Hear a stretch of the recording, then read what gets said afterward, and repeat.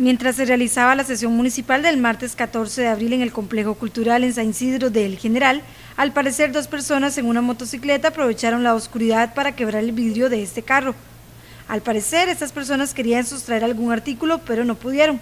Sobre el tema, Wilber Navarro, perjudicado, dijo que estaba en la sesión y cuando se dio cuenta de este incidente. De ahí, mire, uno siempre está ahí compartiendo con los compañeros y cuando escucho yo el número de placa del, carro, salgo para ver qué es. Lo que no sabía era que habían quebrado el vidrio y intentando sacar algo, por dicha no había absolutamente nada. Dejé el maletín en la casa hoy. Bueno, eso es una ventaja, entonces pensaron que Claro, claro, probablemente buscaron ahí en, el, en la guantera y no sé, puede ser que unos anteojos que estaban ahí no los he revisado, puede ser que no estén. Precisamente en el momento del hecho, los oficiales de la policía que vigilan la zona no se encontraban, pues se retiraron al parecer a consumir alimentos. Eh, sí, lo que dijeron fue que parece que fueron a tomar algo los policías y en ese momento fue donde se dio la situación, pero lo dicen ellos mismos, no, no es que estoy inventándolo yo.